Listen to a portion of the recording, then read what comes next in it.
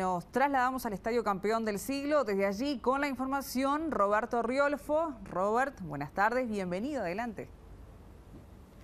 Buenas tardes Rosario y por supuesto los televidentes, pero muy buenas tardes porque realmente el tiempo es espectacular, ustedes lo van a estar viendo en imágenes de Gardo García, es un día histórico, estamos aquí en el Campeón del Siglo como tú decías, donde el Club Atlético Peñarol hace más de 30 minutos está sesionando eh, su comisión directiva, su consejo directivo, pero la particularidad y por qué es histórico, porque están en ese consejo directivo 11 mujeres lo integran, es un hecho bastante inusual, eh, Ignacio Ruble es el presidente, pero como él no está, Patricia López, que es la primer suplente, está presidiendo justamente esta reunión.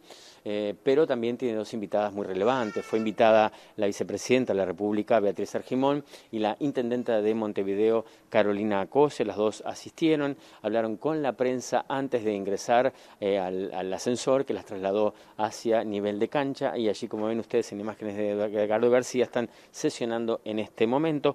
Vamos a escuchar entonces lo que decían las dos jerarcas, tanto la vicepresidenta como la intendenta de Montevideo, con respecto a la relevancia que tiene la presencia de la mujer en cargos directivos a nivel del deporte. Les escuchamos. No dudo en catalogarlo así y, y vuelvo a decir, se trata de un gesto muy importante, que no puede quedarse en el gesto, tiene que seguir en términos de seguir abriéndose espacios, porque el fútbol femenino fue una realidad antes que la dirigencia eh, de los partidos importantes o de la mayoría de los partidos importantes y de la propia AUF eh, tuviera su lugar.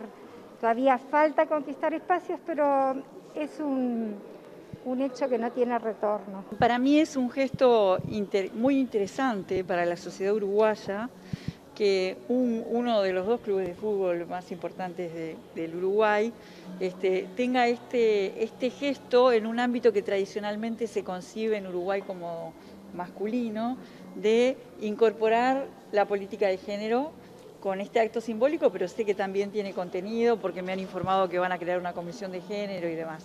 Este, sé que varios clubes están teniendo iniciativas de este tipo, las voy a apoyar a todas.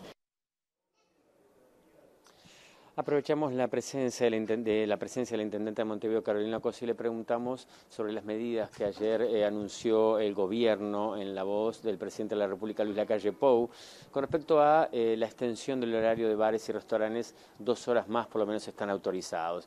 Ya han tomado posición algunas intendencias, ustedes lo van a compartir en un time más adelante, pero decirles que Montevideo aún no tiene una postura tomada. ¿Por qué? Porque la, la intendente Carolina Cose mandó una carta esta tarde al ministro Salinas pidió una reunión urgente con el SECOED de Montevideo, el SECOED que es el Comité de Emergencia Departamental, los hay en todos los departamentos, pero también hay un integrante del Ministerio de Salud Pública en ese SECOED.